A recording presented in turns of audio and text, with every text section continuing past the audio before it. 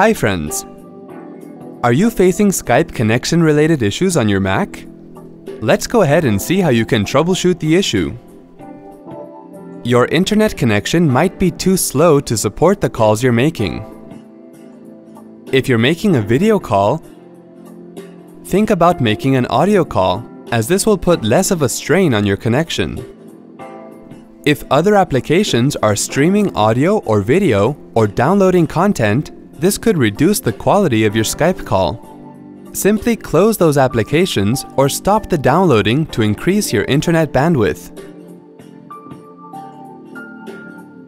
If your calls keep dropping when you're using Wi-Fi, make sure you're in a location with full signal and your router is configured correctly.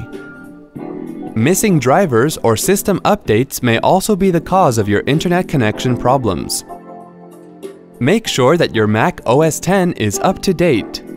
To do so, click on the Apple logo in the main menu and select Software Update. Make sure that you update all the drivers for any additional hardware you use to their latest versions.